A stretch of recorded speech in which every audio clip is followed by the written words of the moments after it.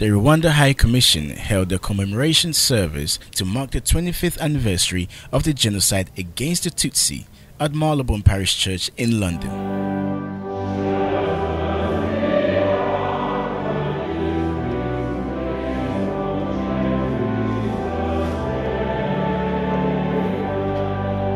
On the 9th of 6th of April 1994, a plane carrying the then president, Juvenal Habyarimana, a Hutu, was shot down, killing everyone on board.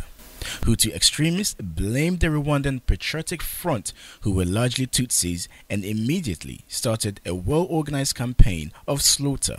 Between April and July of 1994, over 800,000 people were killed during the genocide most of whom were minority Tutsis and moderate Hutus, were all killed by Hutu extremists.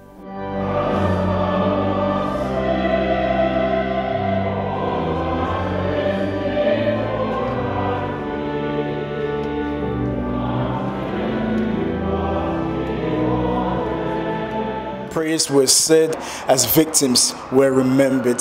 Survivors also shared their stories on things they witnessed as they tried to escape.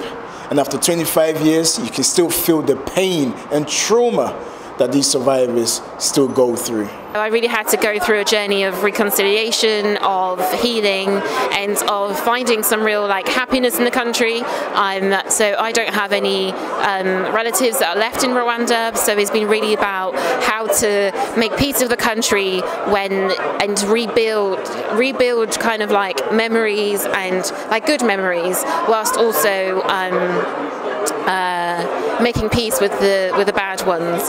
After the church service, people embraced as they comforted each other. Guests from other countries realized the importance of unity. It actually reminds us of what is really important, especially when it comes to tribal matters. Um, I'm from Kenya.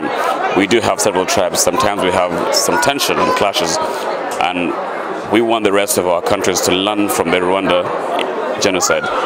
For survivors, it's imperative for the new generation to be well informed about the genocide and to make sure it never happens again.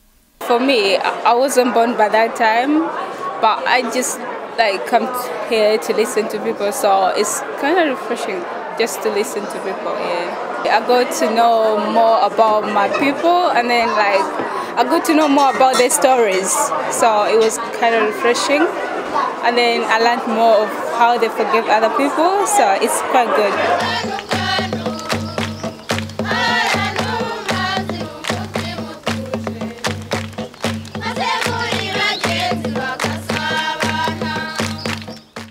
The genocide has cast a long shadow over Rwanda, and talks of ethnicity remains illegal.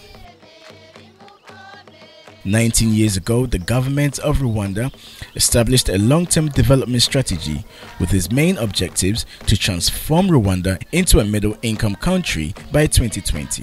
Since then, the Rwandan economy has been growing steadily, earning a reputation as one of Africa's fastest growing economies with an amazing tourist destination. Rwanda is probably the most exciting and super country, number one in Africa. It's the cleanest, their airline, everything is working. In fact, everything is working. Look at what Visit to Rwanda. Look at what they are doing. You know, so uh, you know, I'm just happy that they've moved on. Everybody has forgiven each other. Everybody living in peace and harmony. They love each other. So I'm really happy to be here to commemorate it. Yes, it's good to commemorate such events and learn from it so it doesn't happen again.